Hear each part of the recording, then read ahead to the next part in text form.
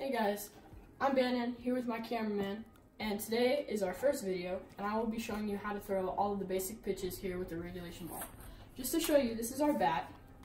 I mean, it's not going to be used that much in the video, but it's just an itty bitty bat, and it helps, uh, just harder to hit. This is just a normal ping pong ball. We're gonna not show you the brand, um, not sponsored. So uh, here we go. We will be starting with the fastballs.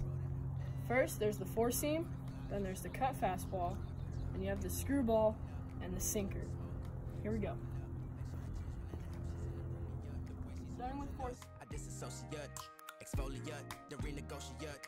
She's closing up. Come to visit me, she say that she the loneliest, and it's hard to open up. Open you up like a Open up, tear you out for puff Let your emotions. All right. Now that we're done with the right-hander's batter's box, we're going to show you the view from those pitches in the left-handed batter's box for our lefty hitters.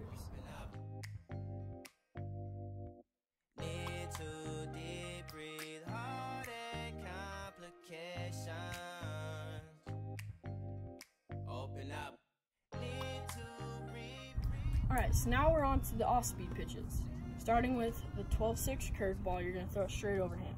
You have the normal curveball, and you're going to throw it at about a 45 degree arm slot. You have the slider, you're going to throw it right here, like a sidearm slider.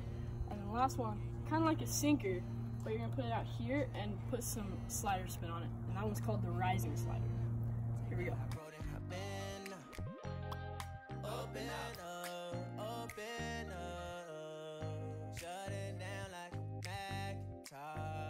Open up, open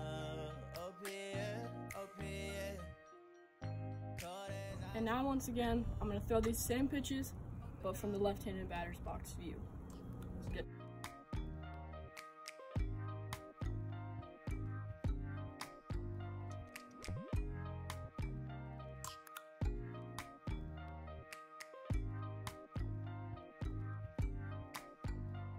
Alright guys, this has been the end of the video. I hope you enjoyed and uh, you practice these pitches because it will help on your accuracy and the whole reason we do this is because it's harder to hit so we can become better ball players in the end.